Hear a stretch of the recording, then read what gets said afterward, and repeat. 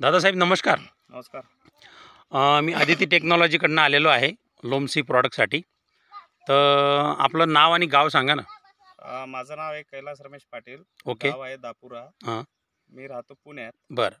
पुण्याहून अ, इथं माझं जे काही लेमन फार्मिंग आहे ओके. म्हणजे लिंबूची बाग आहे ओके. ती मी फक्त अ, बघण्यासाठी येतो. हां हां हां. आणि जे काही बाकी बऱ्याचशा गोष्टी आहेत हां ते इथं येऊन सगळ्या लक्षात येतात बरोबर.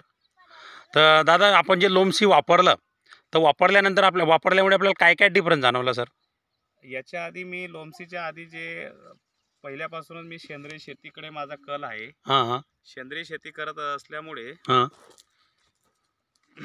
जे काही अ, शारीरिक आणि निसर्गाने जे आपल्याला जे दिलेलं आहे हां. त्याचा आपण पुरेपूर फायदा करून घ्यावा. बरोबर. त्यामुळे मी अ, सेंद्रिय शेतीसाठी खूप प्रयत्नशील होतो आणि सेंद्रिय फवारणीसाठी मी प्रयत्न करत होतो. त्यात मला हे लोमसी स्ट्रॉंगचं प्रोडक्ट निदर्शनात आलं आणि याची. माहिती मिळाली माझ्या दोन तीन मित्रांकडून.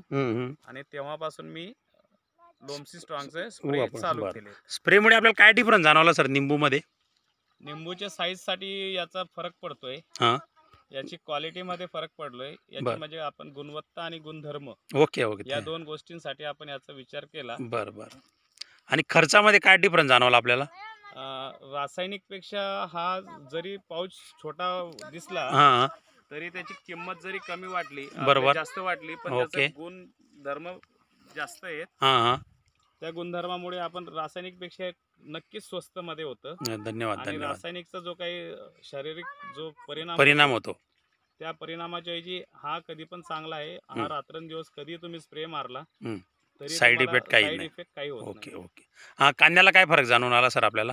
कांद्यामध्ये बी तीच कंडिशन आहे की रासायनिक कांदा जो आहे तो जास्त दिवस टिकत नाही आणि लोमसीमुळे जो सेंद्रिय असल्यामुळे त्याची टिकवण क्षमता वाढेल. एकदम म्हणून हा फायद्याचाच राहील. आज. बाजार नसेल पण उद्या बाजार मिळेल. म्हणून तो साठवणीसाठी लोमसी स्ट्रॉंगनेस तुम्ही. आपला प्रत्येक कांदा जो आहे त्याच्यावरती तुम्ही याचा फवारणी घेऊ शकता. मित्रांनो सांगू इच्छितो की पाटील सर जे आहे ते पुण्यामध्ये मोठे बिझनेसमॅन आहेत.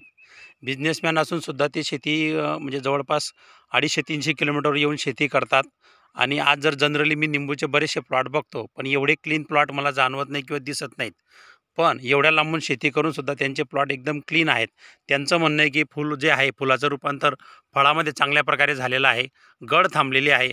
आणि परत या सगळ्या गोष्टींचे रिझल्ट बघून ते परत आता दोन स्प्रे अजून घेणार आहेत. ही आता मी येण्या